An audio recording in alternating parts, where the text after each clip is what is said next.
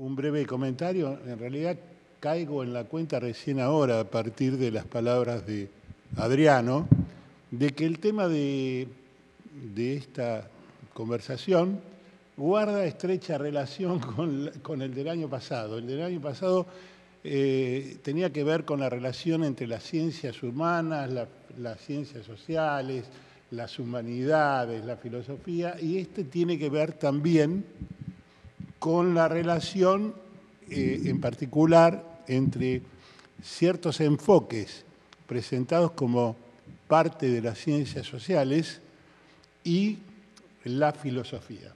El título, eh, eh, seguramente ustedes ya lo conocen, pero lo repito, es una pregunta que se formula en estos términos. ¿Ciencia social o filosofía furtiva. No sé si en, portugués existe esa palabra y supongo que tiene más o menos el mismo sentido que en español.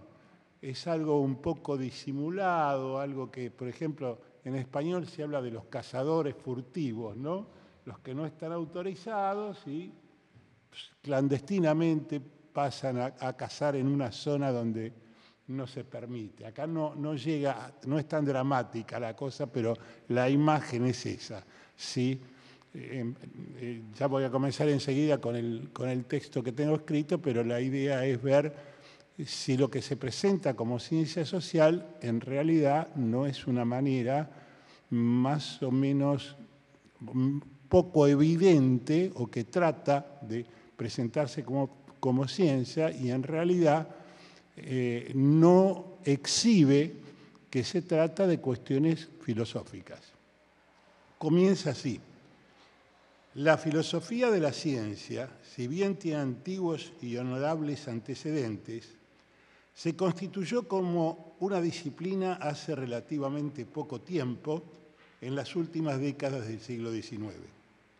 Como era de esperar, proliferaron dentro de ella diversas corrientes rivales y así se generaron líneas de investigación que replantearon los enfoques previamente establecidos hasta el punto de que ya no se sabe bien si encuadrarlas como posiciones dentro de la filosofía de la ciencia, como subdisciplinas o como estudios de una naturaleza diferente. Un caso que, puede servirnos como punto de referencia es la historia de la ciencia, otra disciplina.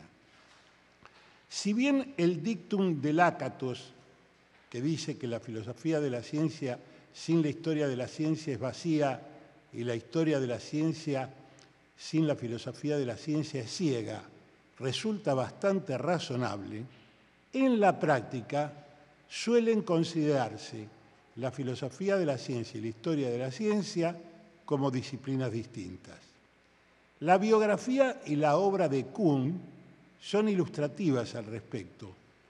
Nadie diría que la estructura de las revoluciones científicas, el famoso libro de Kuhn, es un libro de historia de la ciencia, aunque se lo considere como uno de los fundadores, Kuhn, y el más influyente de la perspectiva que él mismo llamó filosofía histórica de la ciencia. No olvidemos tampoco que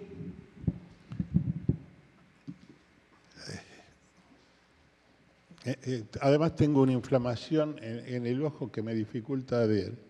Este, bueno, a ver, esperen que me ubique de nuevo en el, texto. No olvidemos tampoco que más tarde confesó Kuhn que había sobreestimado un poco el papel de la historia de la propia eh, eh, y, el papel de la historia en la propia doctrina y que en esa doctrina habían pesado más las intuiciones filosóficas que le hicieron encontrar en la historia de la ciencia una, más que todo una confirmación de esas, eh, de esos, de esas latentes convicciones eh, filosóficas. La mención de Kuhn no es incidental en este texto, porque más allá de su contribución a la filosofía histórica de la ciencia, como él la llamaba, y de ciertas retractaciones posteriores, el impacto de sus tesis originales alimentaron no sólo la inclinación hacia esa perspectiva, sino también una tendencia a alejarse de la manera clásica de hacer filosofía de la ciencia y reemplazarla por otra cosa. Sugiero que hasta promovió sin quererlo el respaldo de la filosofía de la ciencia eh, a favor, o mejor dicho, que el respaldo, el reemplazo de la filosofía de la ciencia por otras disciplinas. De una manera semejante a cómo el positivismo lógico, eh, el positivismo lógico extremo, promovía en otra época el repudio de la metafísica. Esas otras disciplinas que reemplazarían a la filosofía de la ciencia serían fundamentalmente la sociología o una rama de la sociología, una rama de la antropología o algo mucho más difuso que se presenta bajo el nombre de estudios sociales de la ciencia. Cuando en una ocasión eh, anterior expusimos ideas como esta, a saber que la eh, tendencia mencionada pretendía reemplazar la filosofía de la ciencia por las ciencias sociales, un crítico, un crítico anónimo de una publicación que presentamos, nos objetó aludiendo, cuando digo objetó me refiero a Susana, a Nelly y a mí, porque presentamos un trabajo sobre el que está basado este. Eh, este crítico nos objetó aludiendo a que la propuesta de reemplazar la filosofía de la ciencia por alguna rama de las ciencias sociales era una propuesta legítima de los que pretendían eso, porque Quine ya había hecho, ya había rechazado décadas atrás eh, los intentos de elaborar una filosofía primera y había defendido la naturalización de la epistemología.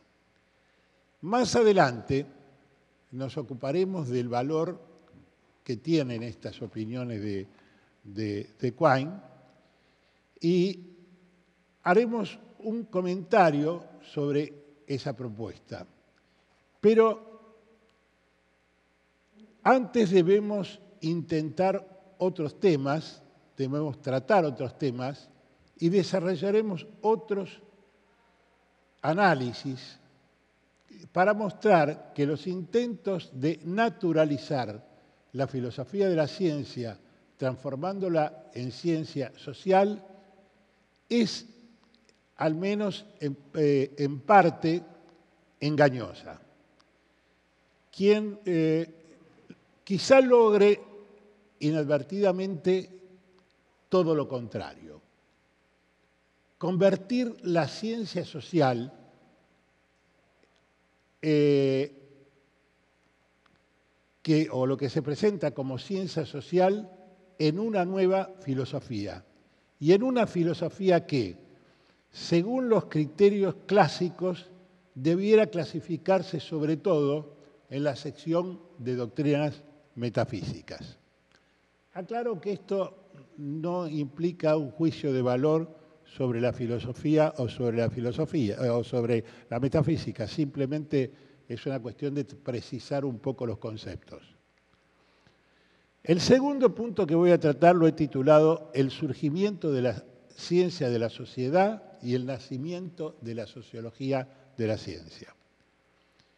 La construcción de una ciencia de la sociedad al modo de las ciencias naturales aparece en los anhelos de Adam Smith. Es interesante que en su juventud aburrido de la escasa actividad que había en las universidades, mientras él era estudiante, Smith se dedicó a estudiar ciencias y hasta llegó a escribir un libro sobre historia de la economía, aunque nunca lo publicó en vida. Posteriormente, eh, bastante tiempo después, Saint-Simon y sobre todo Comte aspiraron a tener la clave de la comprensión de la evolución histórica del ser humano y de eh, todos los conocimientos humanos con la fundación de algo que en un primer momento llamaron una física social, que después se llamó sociología. Ellos mismos, eh, especialmente Comte, la tituló de esa manera. En este clima, el propósito de edificar una ciencia social que compartiera la objetividad de las ciencias naturales y la matemática se materializa en los esfuerzos de Marx para fundir una doctrina, en una doctrina abarcadora los conocimientos históricos, sociológicos y económicos. De acuerdo con la concepción marxiana, los estudios sociales anteriores estaban en general fuertemente eh, eh, teñidos por los intereses de las clases dominantes. El famoso eh, texto de Marx sobre que no es la conciencia del hombre lo que determina, etcétera, etcétera. En cuanto a la objetividad científica, Marx y Engels tuvieron algunas vacilaciones. Pero la idea que primó finalmente fue que las matemáticas y la ciencia social resulta finalmente objetiva porque la ciencia social objetiva es el socialismo científico. Eh, es decir, esta forma de ciencia social es la objetiva junto con las naturales, encarnando eminentemente el punto de vista de los intereses de la clase social oprimida, que es considerado para Marx y para Engels como un punto de vista objetivo. Las ideas positivistas, especialmente eh, dentro de las cuales de alguna manera podemos ubicar a Marx y Engels, si bien no eran propiamente positivistas, estaban influidas por ellas, las ideas positivistas, especialmente en relación con la importancia de la sociología, influyeron decisivamente en la tarea emprendida posteriormente por Emile Durkheim. Llevó a cabo Durkheim investigaciones sobre diversos aspectos de la sociedad, por ejemplo, la correlación entre las creencias religiosas y las tasas de suicidio. Pero también fue de enorme valor su esfuerzo por formular normas que convirtieran la sociología en una ciencia comparable con las naturales. Convencido de que efectivamente rigen relaciones causales en la realidad, ya que únicamente, cito, los filósofos han puesto en duda la inteligibilidad de la relación causal, eh, Durkheim sostiene su, su presencia, la presencia de la causalidad en los fenómenos sociales y considera que hallar las relaciones sociales, las relaciones causales, es tarea de la sociología. Las hipótesis de Durkheim acerca de la génesis social y de lo que denomina categorías, tales como tiempo, espacio y causalidad, han llevado a algunos autores a considerar que no designan propiedades objetivas del mundo material porque son representaciones del mundo social. Así, Scott Gordon considera que mientras en las reglas del método sociológico parece, el libro de Durkheim, parece afirmarse que los conceptos científicos proceden de la percepción sensorial, esas otras que hemos llamado categorías, provienen, según Durkheim, de eh, factores sociales como el poder coercitivo de los padres, el, poder de las autoridades políticas y la conciencia colectiva que producen el concepto de causalidad. Creemos, sin embargo, que esta aparente contradicción en el pensamiento de Durkheim podría resolverse atendiendo dos consideraciones. Una es que así como establece Kant, aun cuando todo conocimiento comienza en la experiencia, no se agota en ella. Del mismo modo, aun cuando ciertos conceptos respondan a circunstancias sociales, eso no significa que su utilización en el conocimiento científico les reste objetividad. La segunda consideración, vinculada con la anterior, es que podría aplicarse en este asunto la distinción entre contexto de descubrimiento y contexto de justificación, por más que parezca pasada de moda. Así, la admisión del origen social de los conceptos científicos resultaría perfectamente compatible con el reconocimiento del carácter objetivo de las creencias científicas y en particular de las que han alcanzado las ciencias sociales. Estos comentarios podrían extenderse al caso de Karl Mannheim.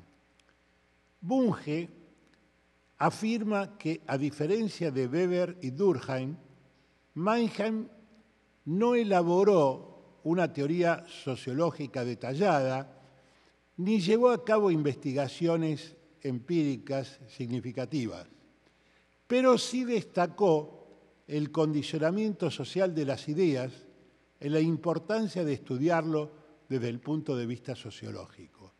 Así, fue él, eh, Mannheim, quien acuñó la expresión Vicent Sociology. Mannheim nunca sostuvo, sin embargo, que todas las ciencias están socialmente condicionadas. Declaró explícitamente, además, que reconocer la influencia de las condiciones, lo que él llamaba condiciones existenciales, no implica abrazar el relativismo y renunciar al postulado de la objetividad. Marcó un contraste entre el relativismo y su propia posición, a la que él denominó, denominó relacionismo. Este enfoque, el relacionista, procura una nueva forma de objetividad que resulta de articular diferentes factores o perspectivas y descubrir así un denominador común que de alguna manera las tome en cuenta. En todo caso, esta perspectiva relacionista resulta relevante para marcar las diferencias entre los distintos tipos de ciencias. Ahí podemos distinguir dos grupos. El primero, el caso de las ciencias que están, como él llamaba, existencialmente determinadas, donde el pensamiento que se procesa está parcialmente influido por la, naturaleza del sujeto pensante. El segundo grupo, o sea, serían las ciencias sociales.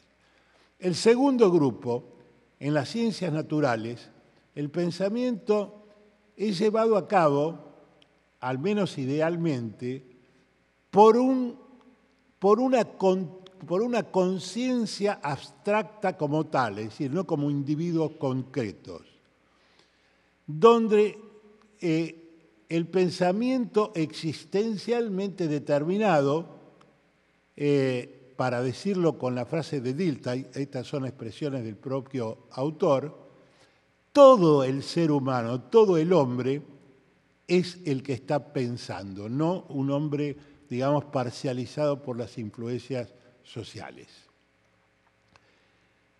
El interés por, eh, fin de la cita, ¿no? El interés por los aspectos sociales de la ciencia también se manifestó en la obra de Robert Merton, que orientó, pero de un modo especial y diferente, esa clase de estudios e impulsó una disciplina a la que llamó sociología de la ciencia. En 1937, y a propósito de las eh, Sociology, observa que el término Wissen debe interpretarse en un sentido amplio como algo que se refiere a las ideas y el pensamiento sociales en general y no a las ciencias físicas. Por su parte, adopta una perspectiva diferente de la de sus predecesores y, eh, sin embargo, eh, adopta como título del artículo que escribe Sociology of Knowledge, lo cual, de alguna manera, eh, como utiliza también ese, el, nombre de sociología de conocimiento, termina confundiendo las denominaciones.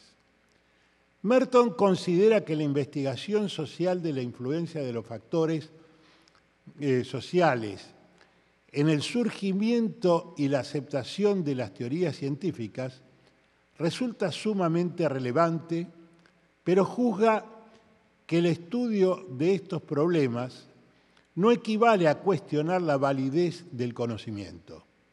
Sin perjuicio de ello, su sociología de la ciencia presta particular atención al mundo en el que viven los científicos, el mundo profesional, esto es la organización y el funcionamiento de, esa, de las instituciones que forman parte de esa institución en diversos niveles y en cuyo contexto desarrollan su tarea.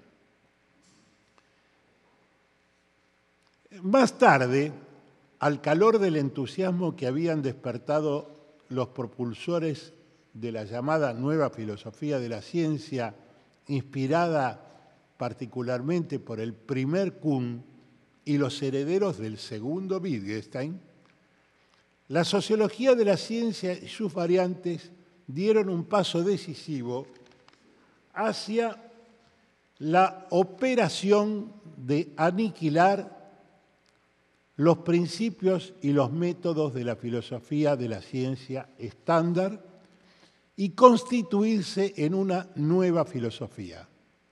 De modo implícito se dio entrada a un relativismo que a mi juicio incurre en contradicciones pragmáticas.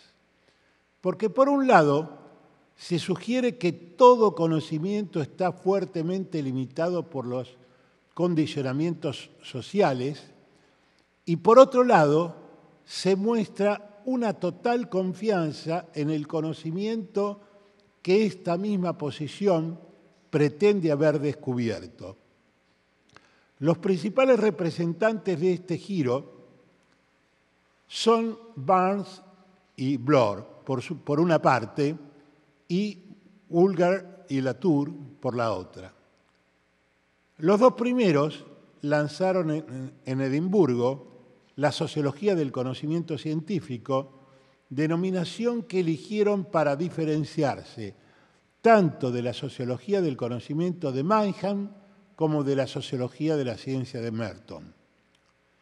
También llamaron programa fuerte a su proyecto para subrayar el hecho de que, al contrario de sus predecesores, estaban dispuestos a cuestionar el conocimiento que brindan las ciencias naturales y las matemáticas. Latour, por su parte, asistió durante dos años o casi dos años al laboratorio Sol y registró al modo, a modo de estudio etnográfico las conversaciones y las inscripciones del personal eh, del personal que trabajaba allí y que eh, eh, logró aislar una hormona, la hormona liberadora de tirotripina, presente en ínfimas cantidades del cerebro y logró reproducir esta sustancia sintéticamente para contar con la cantidad de material necesaria a fin de profundizar su estudio. Al final, en coautoría con Woolger, Latour publicó un libro cuya conclusión fundamental es que los científicos crearon dicha hormona, pero no la crearon en el sentido corriente de fabricarla combinando elementos químicos. Sostuvieron, en cambio, que tanto en su estado natural como en el artificial, la sustancia química era una, comillas, construcción social, resultado de conversaciones, intercambios y negociaciones entre los miembros de la comunidad de especialistas. Si no fuera por estas acciones sociales, decían, la sustancia no hubiese existido de ningún modo. A continuación, expresaré mis reflexiones acerca de estos intentos de eliminar la filosofía de las ciencias mediante el recurso de presentar tesis filosóficas de una manera general, usando elementos de juicio presumiblemente científicos, es decir, ellos utilizan estos elementos de juicio, y yo lo voy a tratar de manera general, y voy a posponer hasta el final el análisis de estos, dos casos particulares que acabo de mencionar. El tercer punto se llama la rebeldía de un empirista y el armisticio posterior. Algunos autores consideran que Quine ha sido el filósofo norteamericano más importante del siglo XX. Por cierto, sus originales análisis y las críticas que formuló a varias consagradas tesis han ejercido una profunda influencia en la filosofía analítica. El prestigio de las ideas desarrolladas por los positivistas lógicos en las primeras tres o cuatro eh, décadas del siglo pasado comenzó hacia, final, hacia, mediados, de, hacia mediados de, esa, de esa época, de ese siglo, a debilitarse. Eh, en parte por la autocrítica que los propios empiristas habían formulado sobre sus ideas y en parte por la impugnación de los que simpatizaban con su modo de hacer filosofía, pero no compartían sus conclusiones como por ejemplo Quine eh, o Wittgenstein. Y a ellos, a las críticas internas y a las críticas de los que estaban próximos, le siguieron objetores menos amigables como Kuhn y Feyerabend, y algunos atribuyen a Quine la bancarrota del empirismo lógico, mientras que otros se le atribuyen a Kuhn. Eh, digamos, yo he, leído muchas veces que eh, el empirismo lógico o el positivismo lógico, bueno, positivismo lógico fue anterior, el, empirismo lógico murió y, y, hay varios autores del certificado de defunción, pero no estoy muy seguro de que efectivamente sus ideas hayan muerto. Eh, pero ahora lo que me propongo tratar es el conjunto de las críticas y de las modificaciones en las críticas que llevó a cabo Quine sobre las ideas originales de los empiristas. Uno de sus primeros cuestionamientos de Quine fue su rechazo o al menos su escepticismo con respecto a la noción de verdad por convención, que está estrechamente ligada a la distinción entre enunciados analíticos y sintéticos. En su clásico ensayo Dos dogmas del empirismo, puso en duda que se pudiera sostener esa distinción. Inspirado en Duane, sostuvo también una concepción holista de la contrastación empírica y después presentó su epistemología naturalizada que manifiesta explícitamente el abandono de toda filosofía primera que pretendiera fundamentar el conocimiento científico.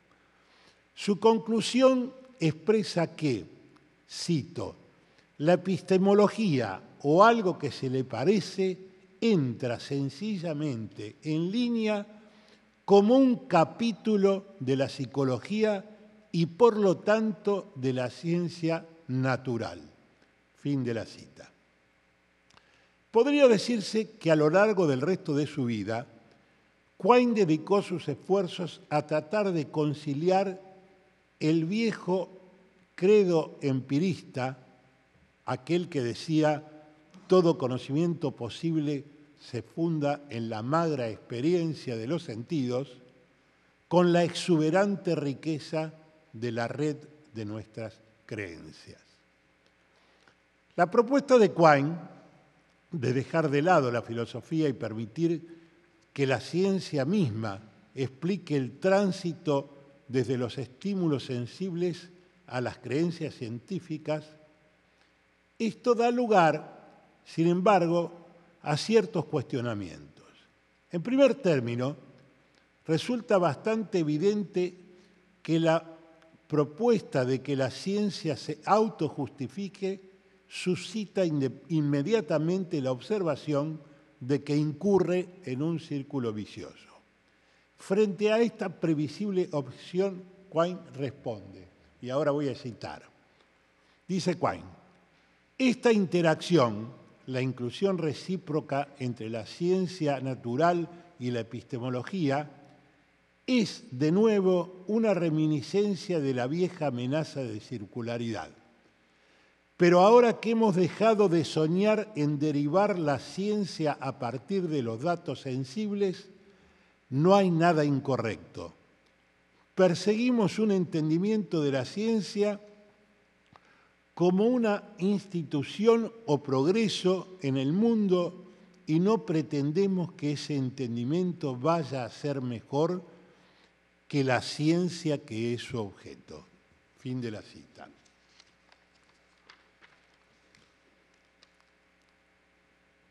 En nuestra opinión, en mi opinión, este argumento de Quine es poco convincente, el que acabo de leer. Y hasta parece un non sequitur, porque el presunto fracaso del verificacionismo que él menciona no implica la justificación de ningún círculo vicioso. Además, Tampoco es totalmente cierto que se pueda prescindir de la epistemología en un sentido más clásico. De hecho, para poner en dificultades las tesis empiristas precedentes, o para señalarlas, Quine utiliza, eh, precedentes a él quiero decir, Quine utiliza como conceptos, utiliza conceptos y argumentos que no son estrictamente científicos, sino tradicionalmente filosóficos. Él mismo, por ejemplo, denuncia la, presunta comisión de un círculo vicioso cuando cuestiona las nociones de sinonimia y significado. O sea, ahí sí cuestiona los círculos viciosos y este es un argumento filosófico, no es un resultado científico. Asimismo, su defensa de una ontología comprometida con la existencia de entidades teóricas y de entidades abstractas, como son por un lado los átomos y por otro lado los conjuntos, por ejemplo, eh, la defensa que hace Quine de esta ontología, basada en la premisa de que quien acepta una teoría científica debe admitir las entidades que ella postula, esa defensa no constituye un argumento en sí mismo científico, sino una decisión filosófica. Prueba de ello es que otros filósofos, los, instrumentalistas, y notoriamente y de manera reciente el empirismo constructivo de Van Frasen, niegan lo que dice Quine, niegan que la aceptación de una teoría científica conlleve a algo más que a la creencia en la adecuación empírica de esa teoría. Mis reflexiones neutralizan, me parece, la observación que nos había hecho el crítico que mencioné al principio, o sea, de que si Quine naturaliza la epistemología, ¿por qué los sociólogos no lo, pueden hacer? Eh, y pienso que eh, es así porque eh, él trataba de justificar la reducción de la filosofía a la sociología, Quine, invocando la epistemología. Naturalmente, o no, el, el crítico, digo, naturalmente esta objeción tiene un aire a falacia de apelación a la autoridad. Pero lo importante es que por las razones que he dado, la tesis de Quine resulta muy discutible. Además, Quine cambió posteriormente muchas de sus opiniones. Introdujo una noción que podríamos llamar semiconductista de significado observacional, habilitó consecuentemente cierto tipo de sinonimia y atenuó su holismo.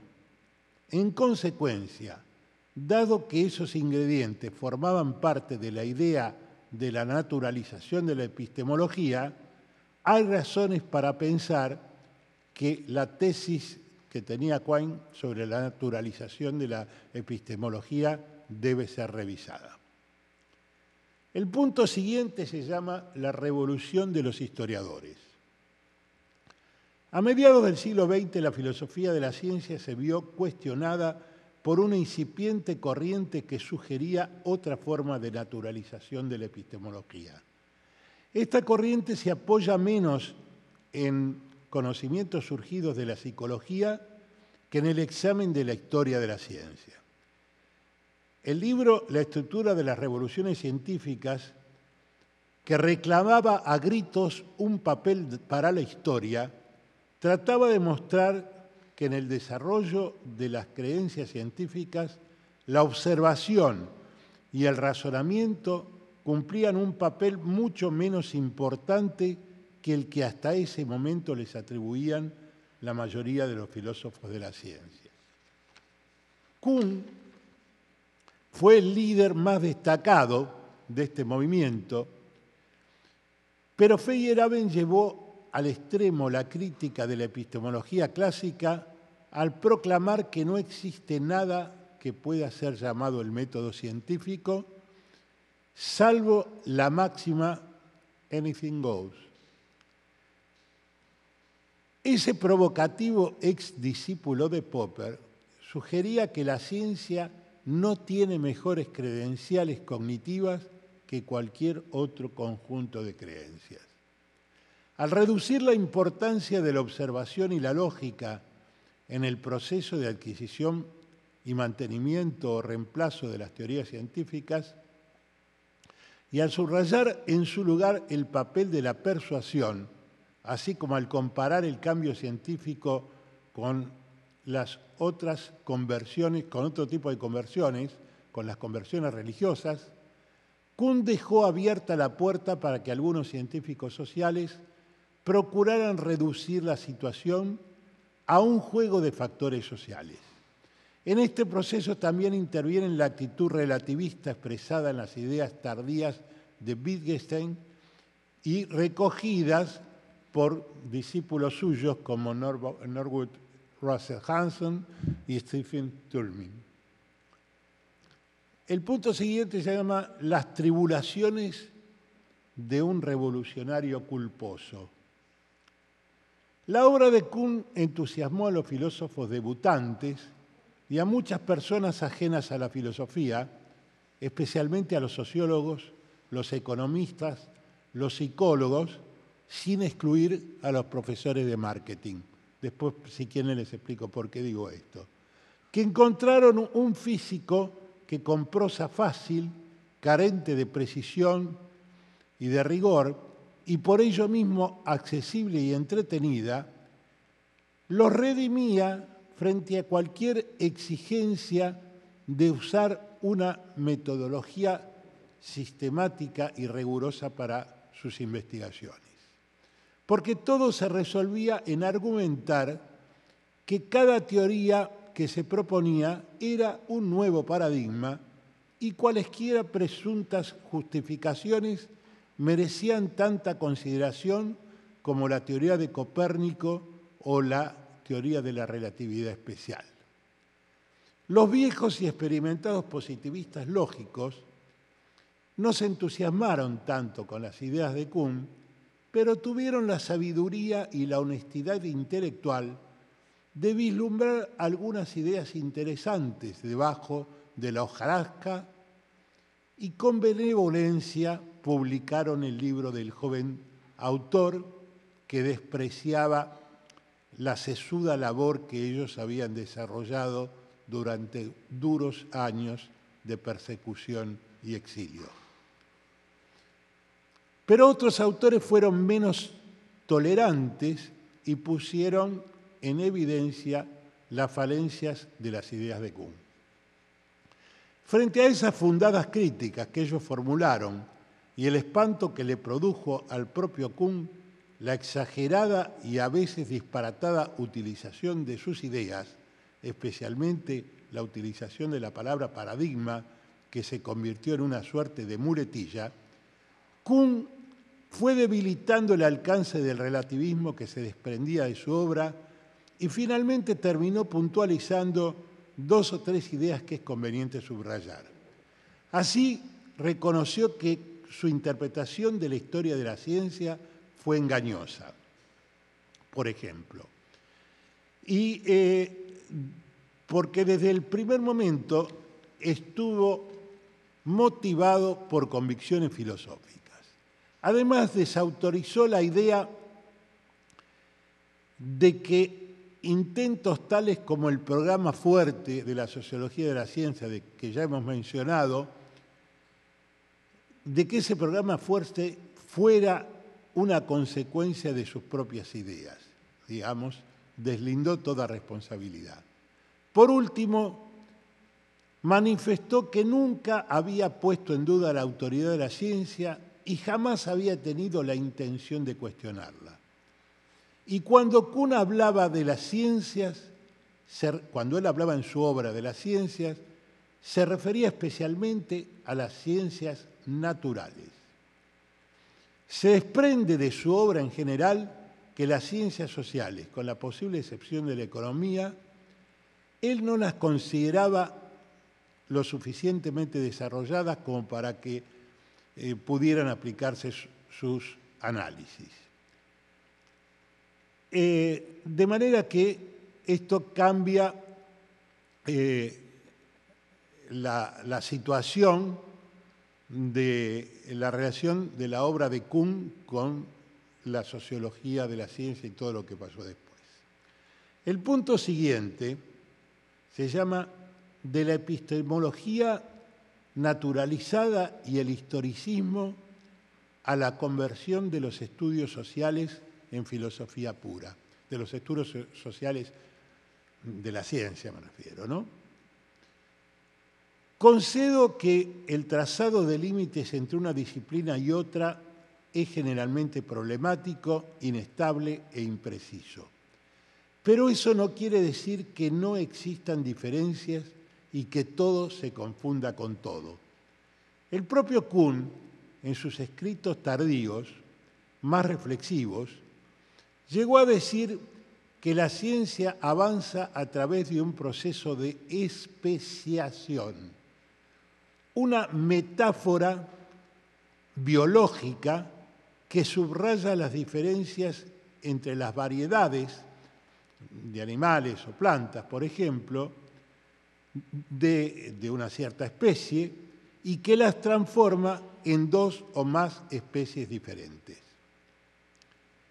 Eh, aun cuando haya a veces convivencia de distintas especies y en ocasiones se complementen, otras veces son enemigas, digamos, pero aún así se complementan porque unas sirven para alimentar a otras. Por ejemplo, aun cuando sucede esta convivencia de especies, para los biólogos son objetivamente diferentes. Creo que la filosofía y la ciencia han pasado por un proceso similar y se han ido especiando y constituyen especies diferentes. Admito que una taxonomía biológica como cualquier otra depende de criterios de selección que resultarán relevantes y útiles tal vez, como cuando se agrupa a las ballenas entre los mamíferos y no entre los peces. Los criterios de clasificación pueden ser debatibles siempre, pero una vez fijados, la cuestión se hace bastante objetiva. Admito también que el conocimiento científico o los científicos, incluso cuascientíficos, abrigan o presuponen creencias filosóficas.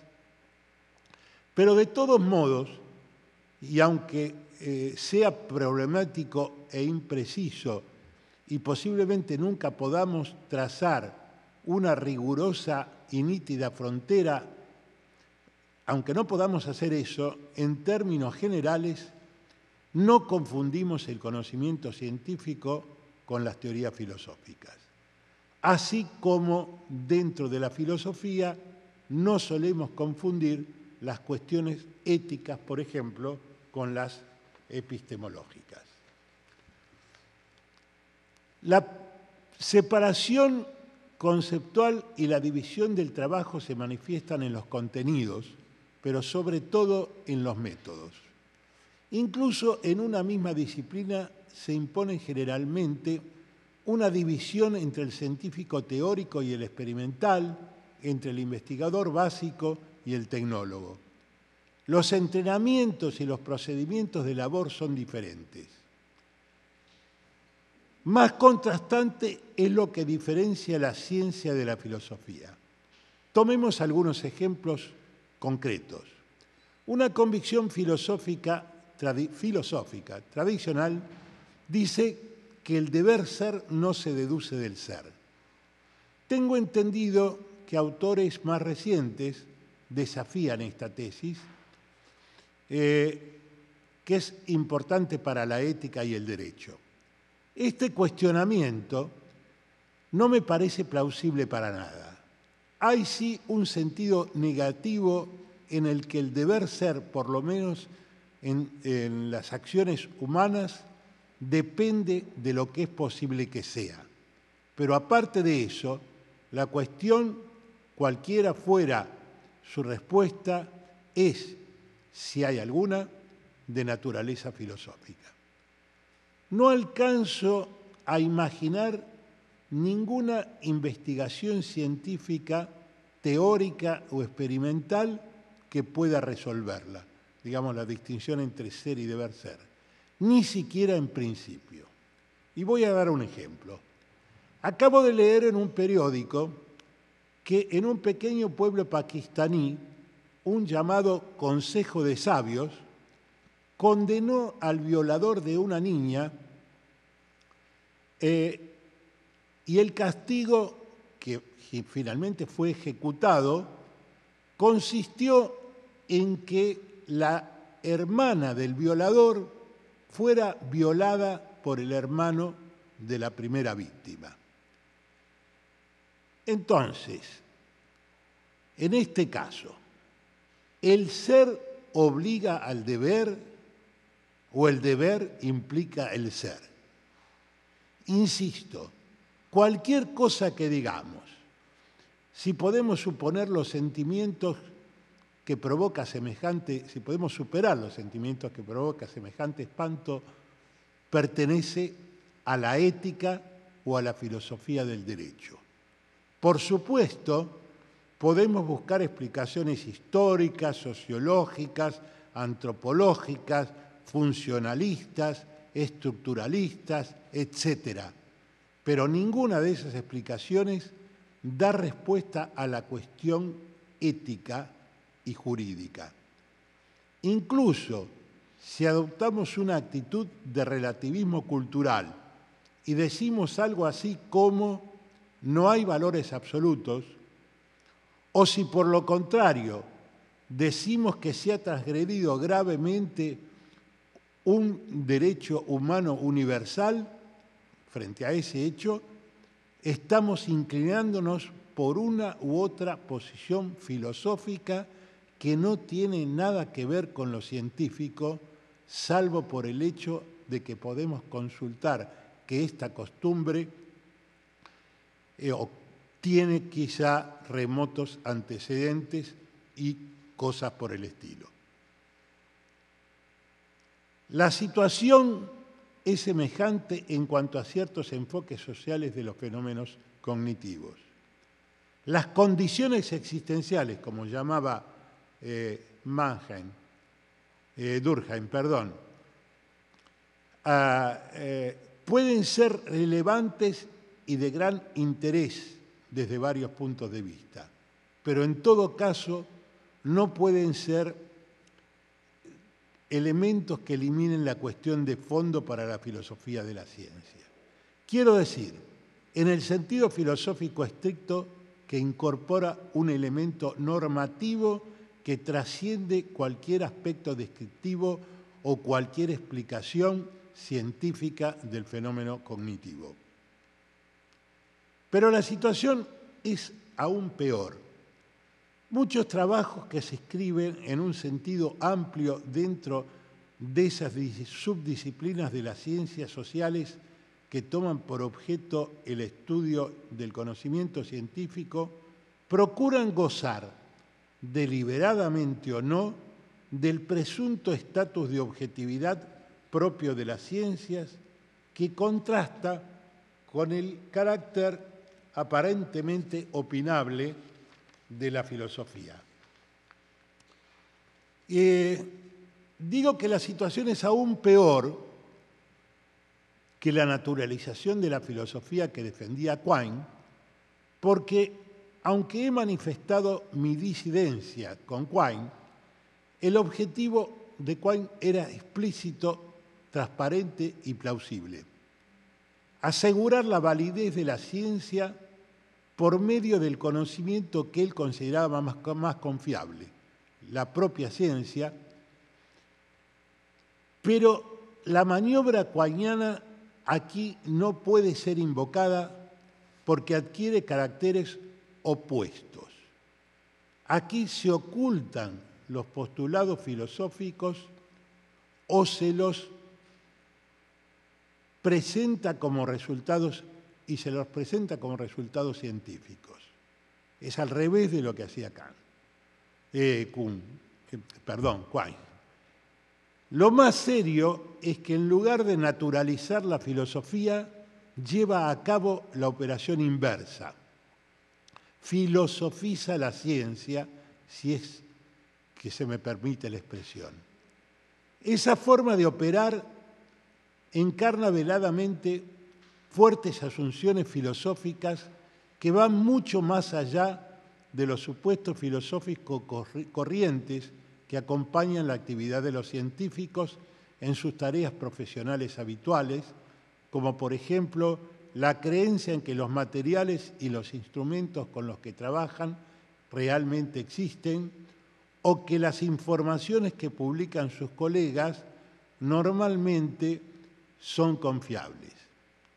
Puede ser que ese realismo de sentido común sea vulnerable, pero para refutarlo hay que dar precisamente argumentos filosóficos.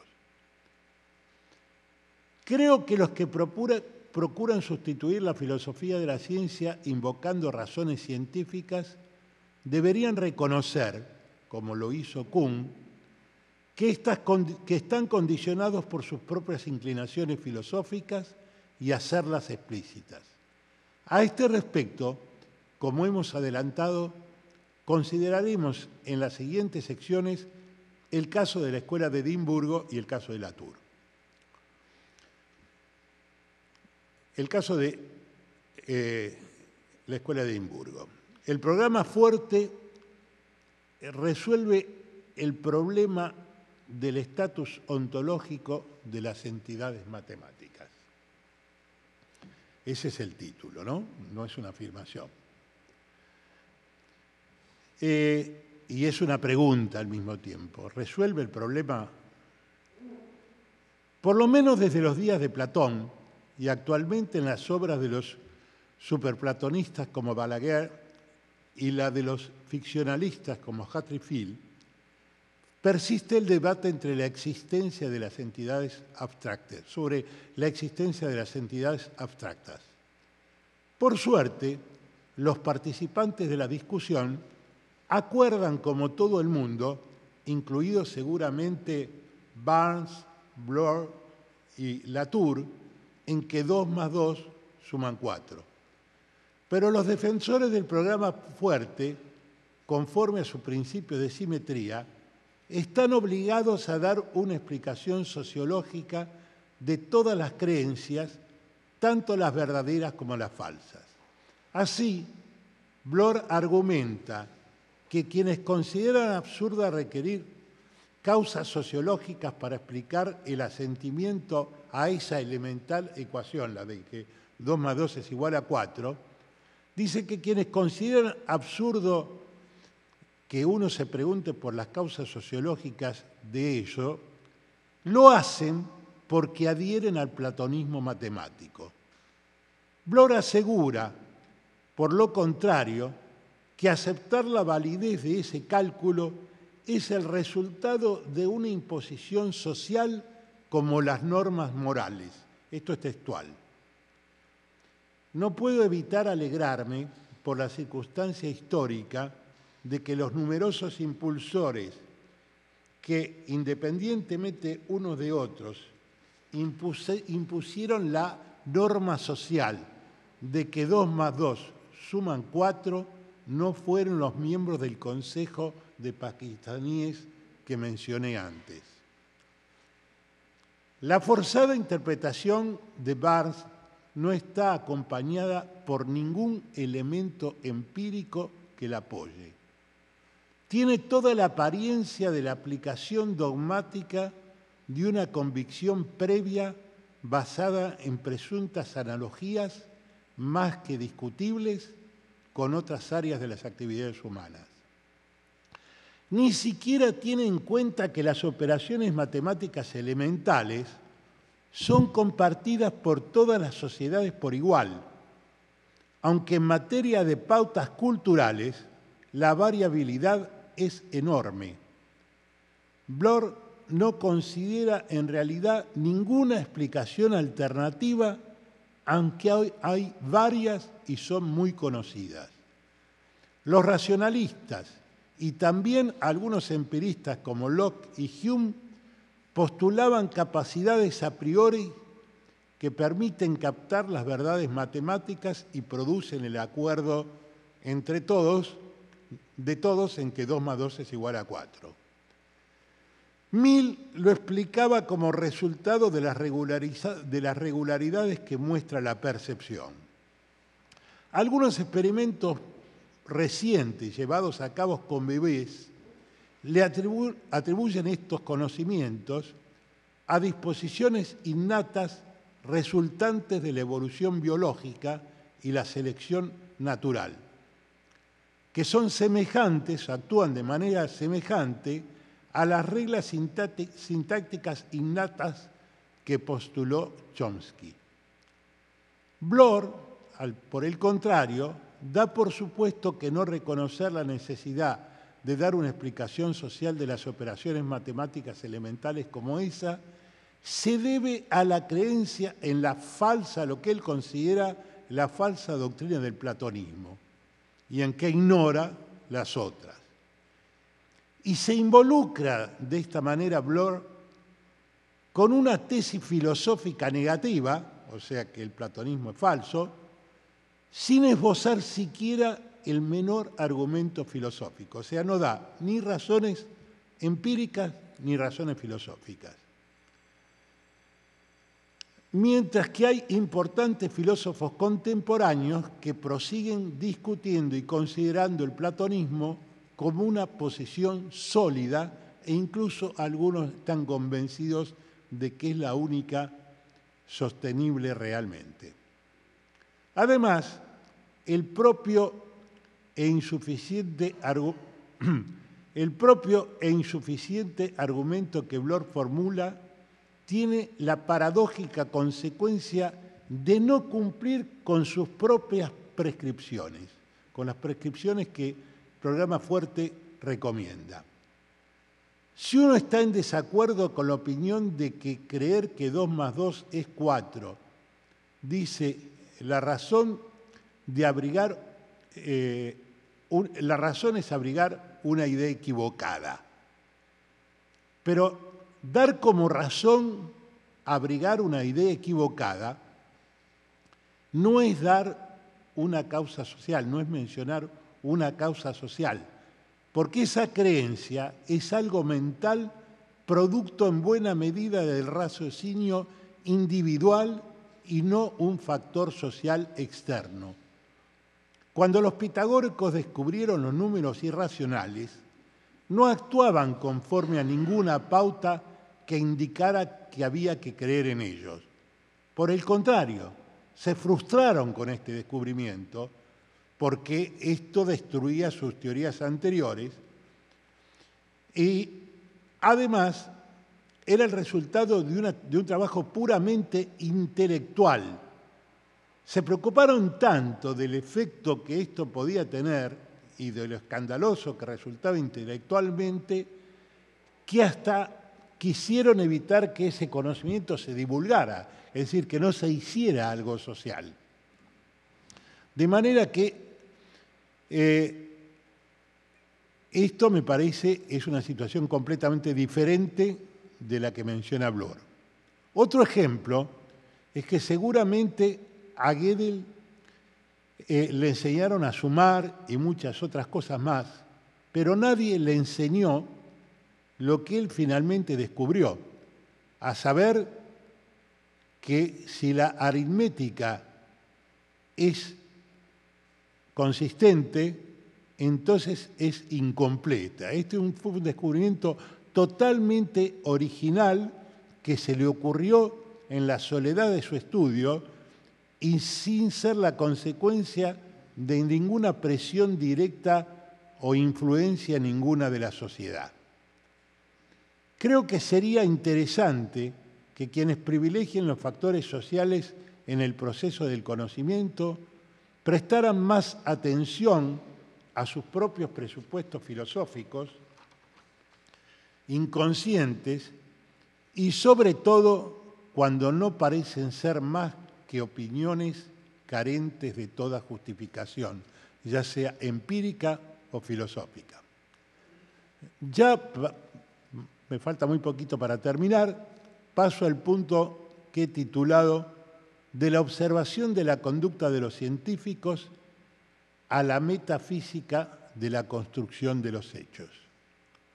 El caso de la Turi Bulgar que ya hemos esbozado es un ejemplo aún más claro de la medida en que las creencias filosóficas, seguramente ya presentes antes de comenzar las observaciones, eh, porque en este caso sí hubo observaciones, se visten con un uniforme científico. Tiene bastante plausibilidad afirmar que las creencias de los científicos llegan a ser adoptadas o abandonadas por la incidencia de factores sociales. Eso lo admito. En particular, los argumentos y opiniones de otros científicos, el prestigio de quienes las expresan, etcétera. La situación es bastante frecuente porque los científicos se manejan con hipótesis y estas hipótesis están subdeterminadas por las observaciones y los experimentos. Pero también es cierto que esa posibilidad tiene algunos límites, importantes límites. Aunque siempre hay algún margen para interpretar los hechos de acuerdo con nuestras propias convicciones favoritas, los científicos generalmente ceden ante evidencias contundentes. El propio Kuhn llegó a reconocer que la naturaleza impone eh, ciertas restricciones a nuestras creencias y a nuestras convicciones favoritas. Y es muy difícil no admitirlas cuando esas evidencias son manifestaciones materiales tangibles. Lord Kelvin, autor de importantes descubrimientos y muchos inventos, solía ser bastante escéptico. Descreyó, con razones científicas atendibles, en su momento, de la teoría de Darwin. Él era, Kelvin era un creacionista, pero moderado. Reconoció, sin embargo, finalmente, que sus cálculos, sobre la antigüedad de la Tierra, que era lo que lo, había llevado a dudar de la teoría de Darwin, estaban equivocados porque cuando él realizó esos cálculos no había tenido en cuenta un fenómeno que se descubrió después y que es la radiación que modifica el tiempo eh, de estimación, la estimación del enfriamiento de la Tierra, que es mucho mayor de lo que él creía. Descreyó Kelvin de los rayos X hasta que el propio Röntgen lo convenció y terminó haciéndose sacar una radiografía, eh, Kelvin. En 1902, a pesar de que ya se habían realizado intentos con cierto éxito, Kelvin sostuvo que los aviones jamás podrían volar. Un año después, dos bicicleteros mostraron lo contrario. Cuando Kelvin murió, pocos años más tarde, ni él ni nadie más podía seguir manteniendo que los aviones no podían volar. Pese a estas razones estoy dispuesto a conceder que la aceptación de muchas creencias, especialmente las hipótesis científicas más interesantes, dependen de manera significativa de influencias sociales. Tal vez los hermanos Wright no sabían quién era Kelvin, o no les importó lo que él dijera. Podían haberse dejado impresionar por la autoridad o por la difundida convicción de que algo más pesado que el aire no puede volar. Pero en contra de esas influencias sociales pasaron a la historia.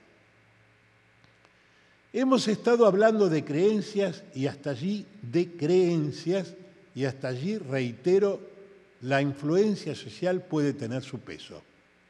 Sin embargo, Uller y Latour fueron mucho más lejos porque concluyeron que los científicos no solo producen teorías o interpretaciones de los hechos, ellos creían que hay construcción social de los hechos mismos.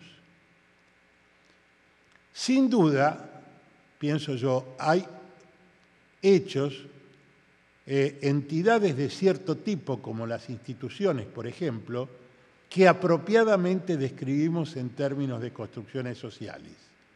Y estoy de acuerdo también en, que en el modo en que se entiende un hecho, que el modo en que se entiende un hecho social o natural depende por lo menos en parte de convenciones sociales acerca de conceptos, palabras, teorías y valores.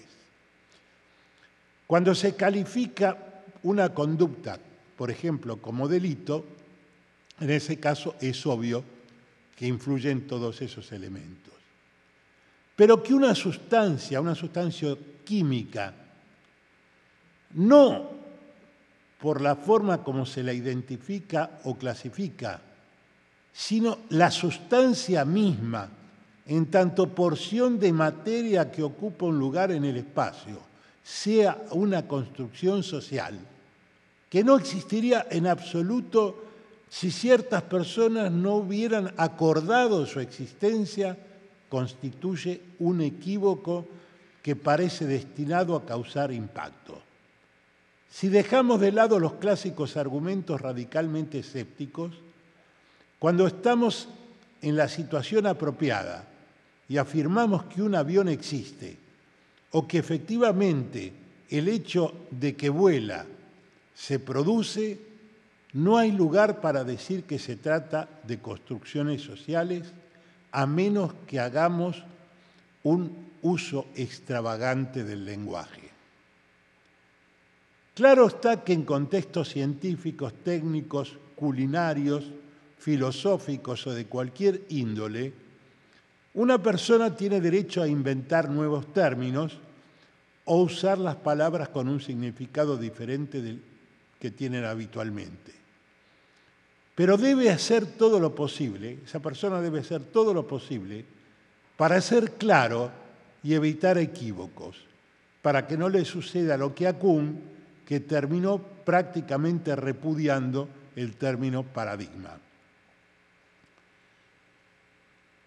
Latour y Bulgar confiesan que tuvieron serios problemas para redactar el libro que escribieron, La vida en laboratorio, que recoge esas investigaciones, porque no querían usar palabras y oraciones cuyas connotaciones establecidas, chocaban con sus convicciones filosóficas. Así, narran que mientras los científicos del laboratorio creían que los signos que utilizaban en sus transmisiones o escribían en los pizarrones y las oraciones que formulaban eh, se referían a cosas externas, Latour y, Bulgar pensaban lo contrario. Es decir, y dice que tenían discusiones con los científicos acerca de esto. Pero la diferencia entre el signo y lo representado es muy antigua y participan de ello no solamente eh, la mayoría de los filósofos de la ciencia, sino también los lingüistas y yo diría hasta las personas comunes que no confunden las palabras con los hechos. Pero no es mi propósito aquí discutir si las concepciones de unos u otras son correctas, verdaderas, sostenibles o siquiera consistentes. Para nuestro tema, todo esto es un reconocimiento explícito de que la investigación antropológica de campo que ocupó a la Tour durante casi dos años era en el fondo una excursión en búsqueda de confirmar convicciones filosóficas. Y lo inspiraron para construir, no es casual que yo acá use la palabra construir, lo inspiraron para construir toda una teoría metafísica. La trayectoria posterior de Latour, que entre otras cosas eliminó la palabra eh, social del título, en la segunda edición del título del libro, en la segunda edición ya no se llama más la construcción social de un hecho científico, sino la construcción de un hecho científico. Digo, eh, la trayectoria posterior de Latour confirma esta afirmación de que él simplemente lo que estaba haciendo era filosofía. Para ser justos, digamos que en su caso, la actividad desarrollada no es investigación científica que se interna furtivamente en la metafísica. Es, con toda honestidad, el intento de, edificar una metafísica, la que comenzó a desarrollar contemporáneamente a sus cotidianas visitas al laboratorio de Salk, así como probablemente las ideas de Goodman sobre la prioridad de los signos deban ser ocurrencias que daban vueltas en su cabeza mientras recorría la galería de arte que Goodman dirigía al mismo tiempo. Muchas gracias.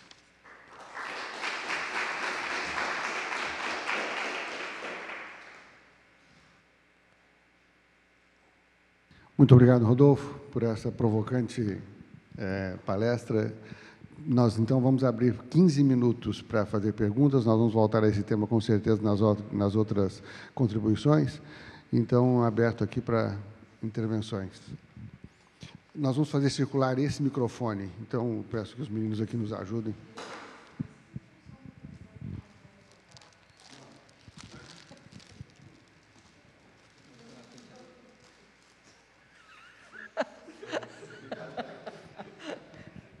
Perdón.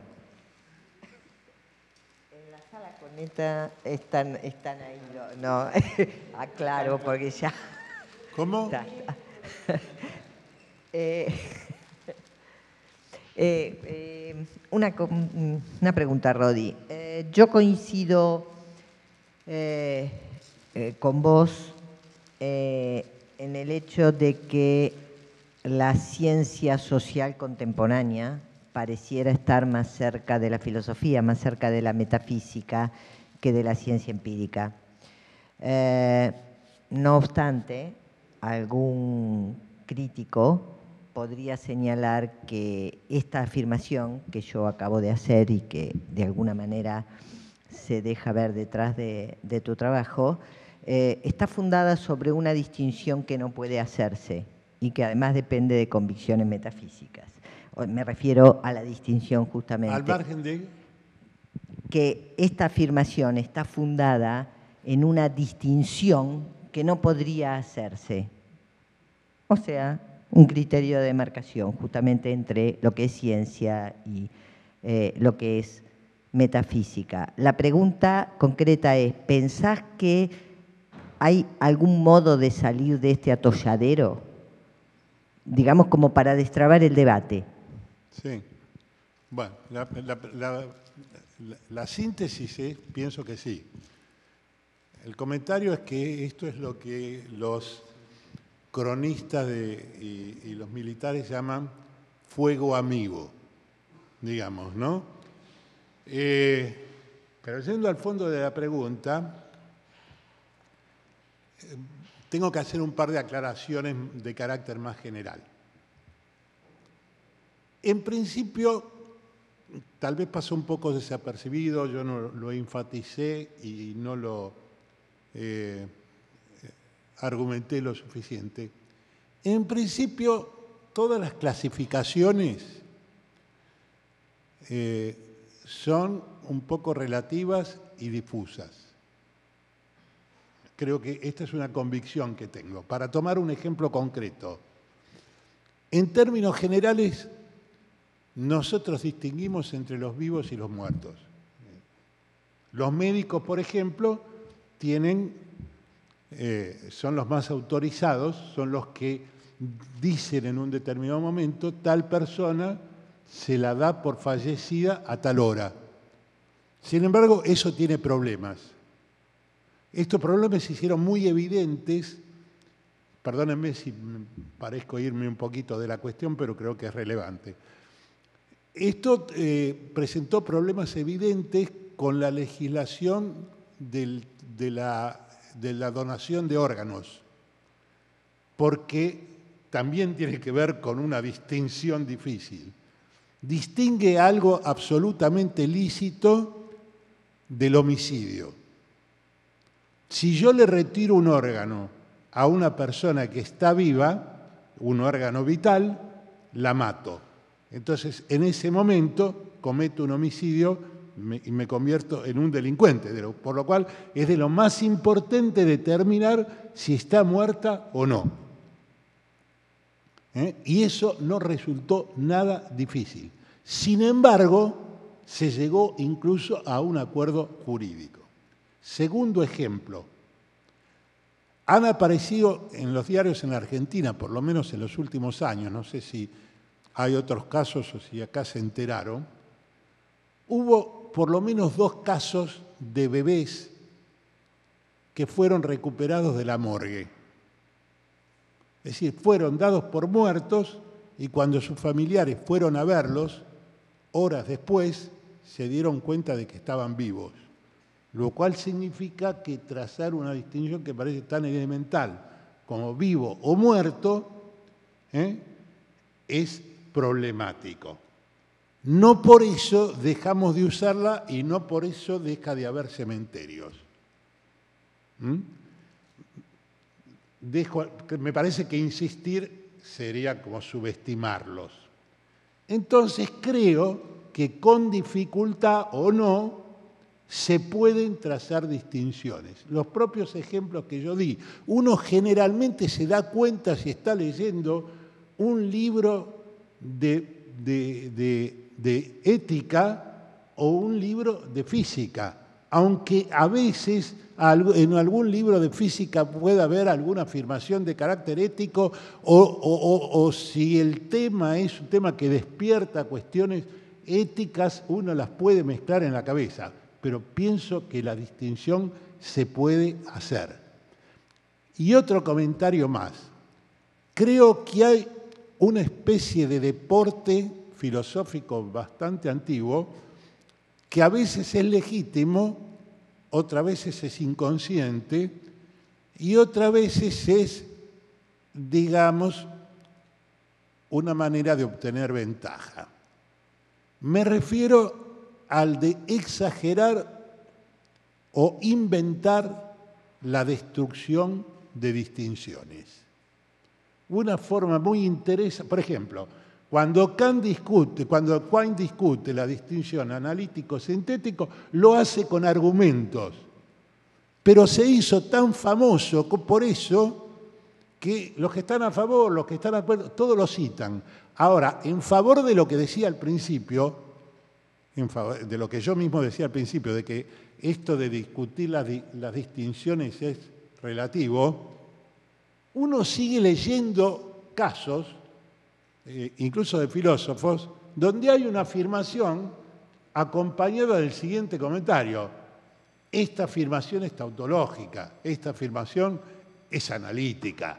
O sea, por ejemplo, para descalificar lo que dice otro. Mire, lo que usted está diciendo es algo analítico. O sea, por un lado, acepto que no hay distinción entre lo analítico y sintético. Y por otro, sigo usando en la práctica esa distinción. Creo que eso contesta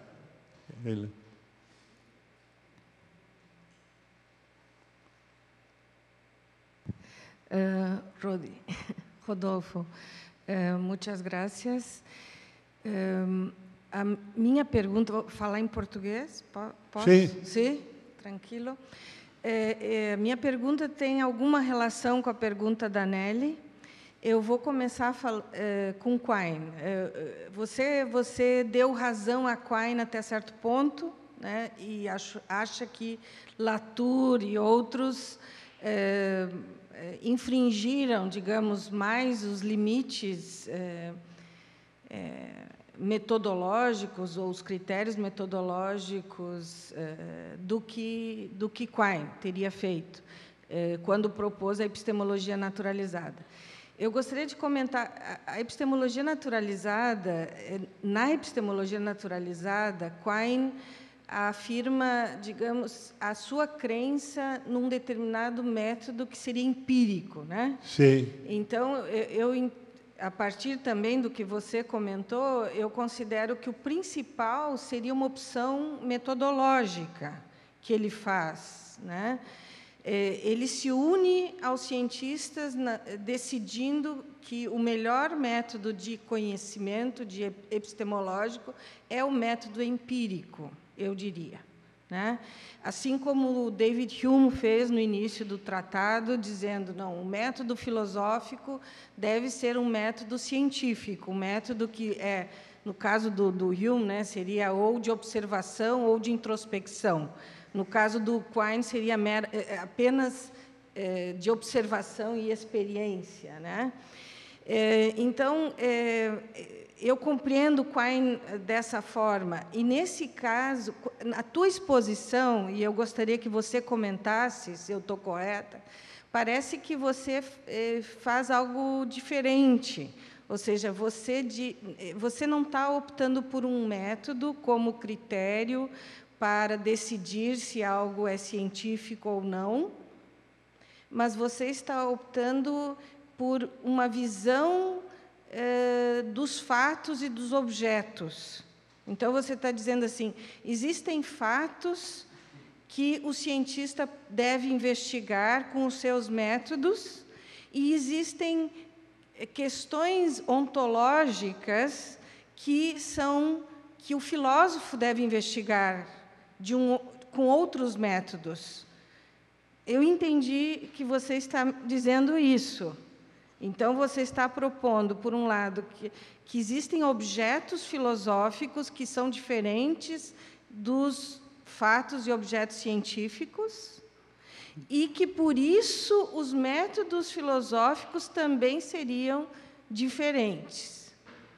É, A pergunta sim. é: é isso que você está dizendo? no exactamente, creo. Me parece que hay que, que hay que hacer alguna distinción.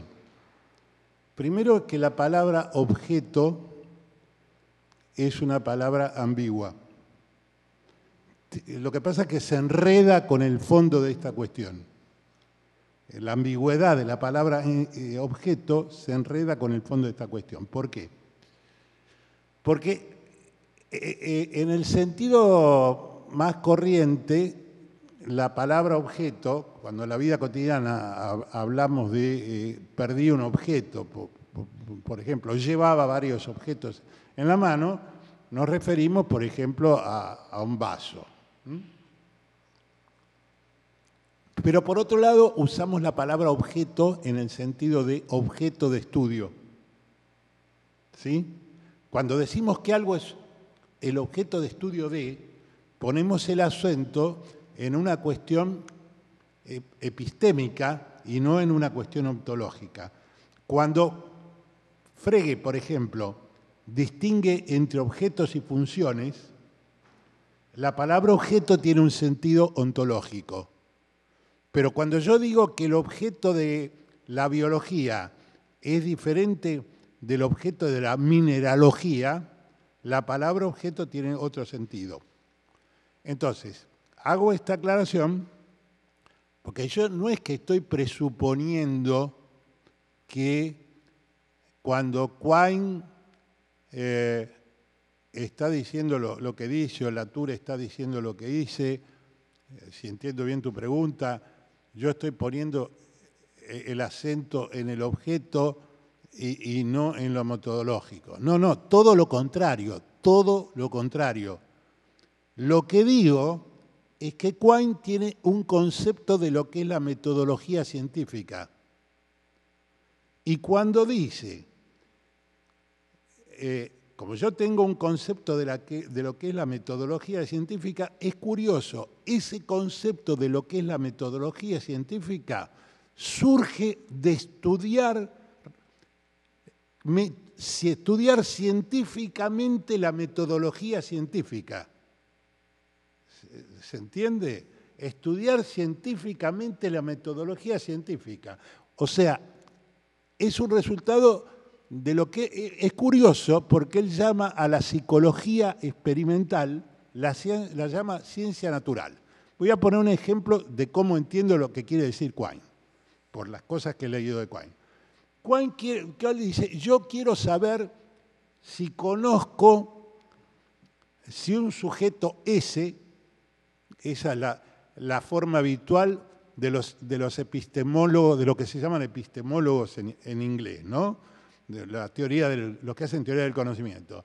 Si el sujeto S conoce que tiene o sabe que tiene una mesa blanca delante de él. Entonces, lo que dice Quine es, esto lo contesta la psicología.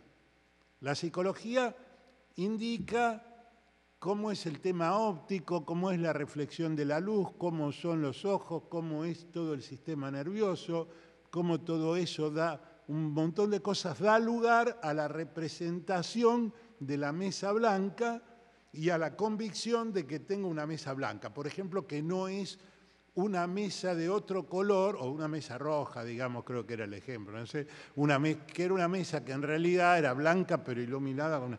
Esto forma parte de la psicología experimental. Tanto le da la razón en este aspecto a Quine la historia, que Mach, por ejemplo, eso es cosas que muchos no saben, Mach hizo importantes descubrimientos de carácter psicológico de las ciencias de la psicología de la percepción, estudiando leyes de la, percepción.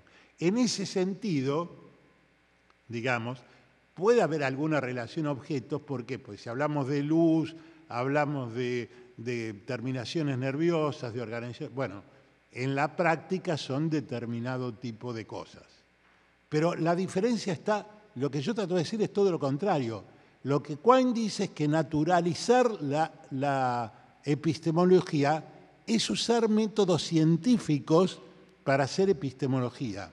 Y lo que me parece que hacen la TUR y todo eso es simular que usan métodos científicos porque toman nota, hacen, hacen lo mismo que un etnógrafo de campo, pero en lugar de hacer lo que los etnógrafos de campo generalmente se supone, o, si se quiere los teóricos que, que manejan ese material, tratan de hacer, que es tratar de ver cómo ven el mundo sus sujetos, ¿eh? sin proyectar eh, su propia visión del mundo. ¿Se entiende? Es decir, cuando yo voy a estudiar una, un grupo eh, completamente distinto del mío, trato de ver cómo categorizan el mundo ellos y no cómo lo categorizo yo.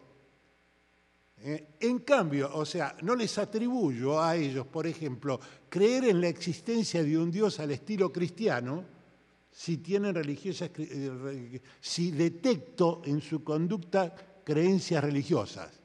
En todo caso, trataré de hacer una hipótesis interpretativa si es que puedo superar el salto cultural y, tratar de, si, no hay algo así como la inconmensurabilidad, decir, cómo conciben los dioses ellos, eh, qué, diferencia tienen con la concepción que en mi cultura tengo.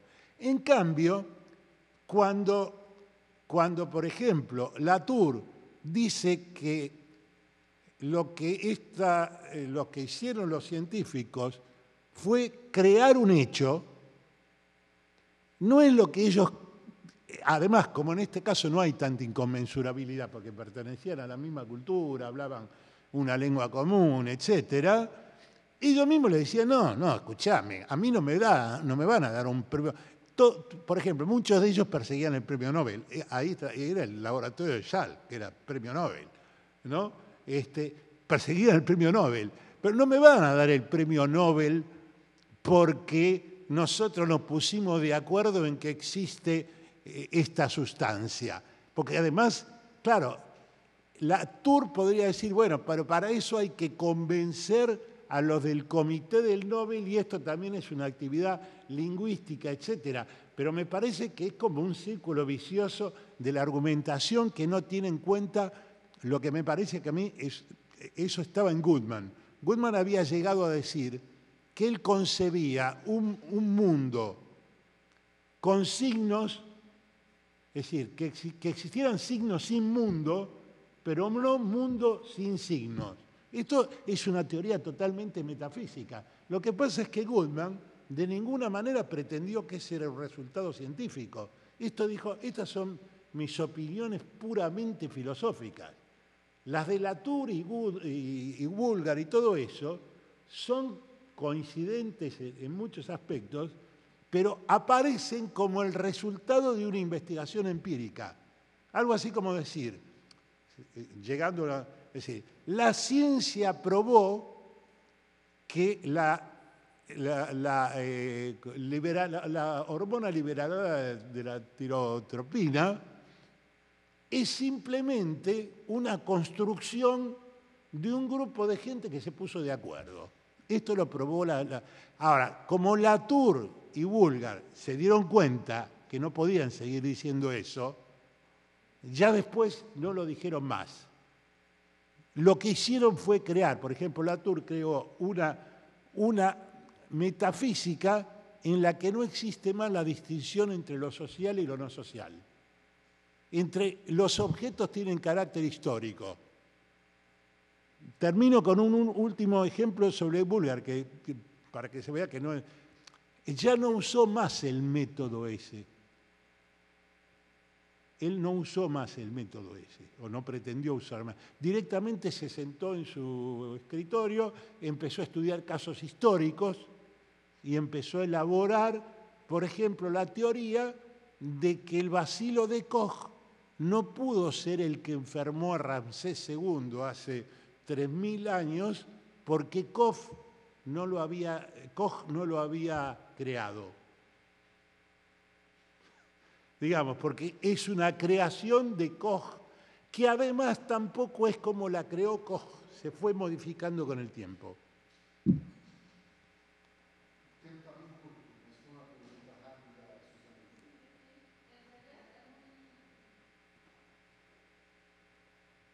Muy conectada. Mi pregunta con lo último que vos acabas de aclarar mi pregunta muy concreta es si no hubo, a través de esta especie de, desarrollo histórico que has hecho de, la incidencia de las ciencias sociales, en fin, eh, si no hubo un desplazamiento eh, desde cuestiones que eran más bien epistemológicas hacia cuestiones decididamente ontológicas.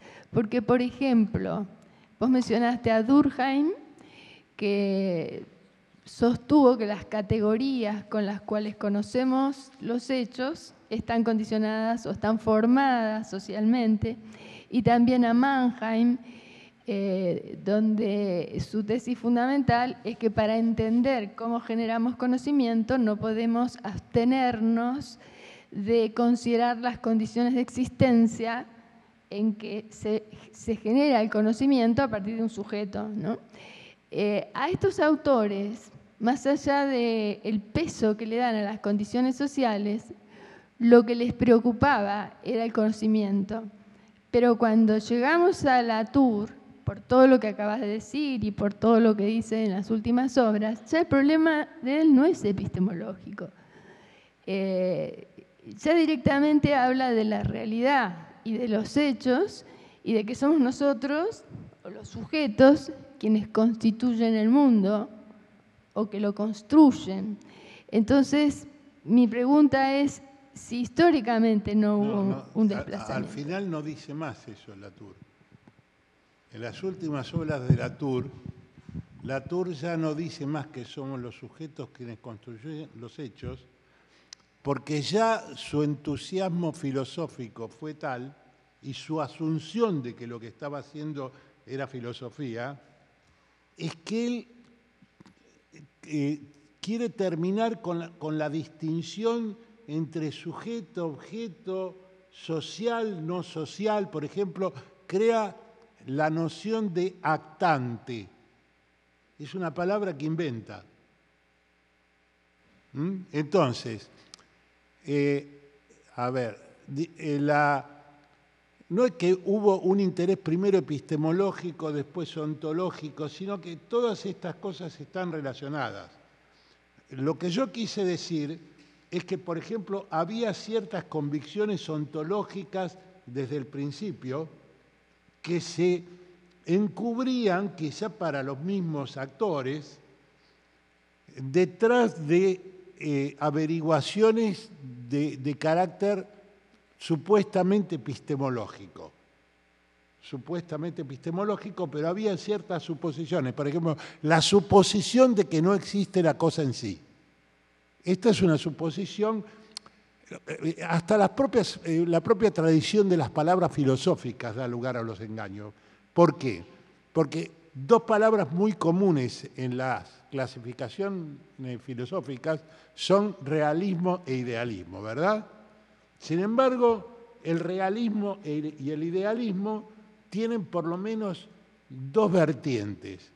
El realismo versus idealismo epistemológico de la teoría del conocimiento. Uno va a los textos y dice, realismo es la teoría del conocimiento que dice que conocemos las cosas y también si lo buscamos en otra parte del diccionario o en la, misma acepción, si es bueno, va a decir, en la metafísica o en la ontología, realista es el que cree que existen las cosas, digamos, realismo, el realismo dice que existen cosas así y el idealismo dice que las cosas son creaciones de la mente. De o sea, hay como una confusión entre los dos aspectos, pero no es la que a mí me interesa no, no, es la que me interesa, no me interesa discutir acá si tiene razón el realismo o tiene razón el idealismo. Simplemente lo que quería marcar, aunque esto está un poco medio pasado de moda, por lo que acá, por ejemplo, porque, porque como dije antes,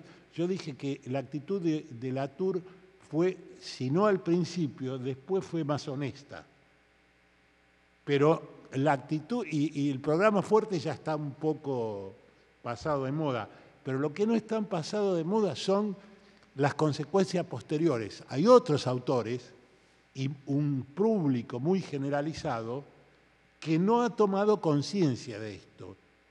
Y entonces cree seguir estando... Además no estoy hablando de las ciencias sociales en general, ni estoy diciendo que las ciencias sociales no apliquen métodos científicos ni nada por el estilo. Estoy hablando de determinadas corrientes que están englobadas dentro de esa denominación y que han ido sustituyendo, nosotros hemos sido testigos en muchos lados, algunos bastante desagradables, digamos, porque hemos tenido que ser jurados de gente que se presentaba para dictar filosofía de la ciencia y en realidad no conocía casi nada de la historia de la filosofía de la ciencia. Lo único que, que conocía era este discurso. Entonces, eh, no sé si esto contesta a toda pregunta, no, no es que haya una, una, una eh, así como me preguntaba Sofía si era una cuestión de método o de objeto, Acá no es una cuestión de si pasaron de la epistemología, está relacionada la si pasaron de, cuestiones epistemológicas ontológicas, sino que lo que quiero decir es que todo eso se presentaba de una manera muy confusa y que, por ejemplo, en el caso de, de Quine, aunque el propio Quine lo revisó y yo lo critiqué independientemente de su revisación, tiene una fundamentación diferente. Muito obrigado, então, Rodolfo. Muito obrigado.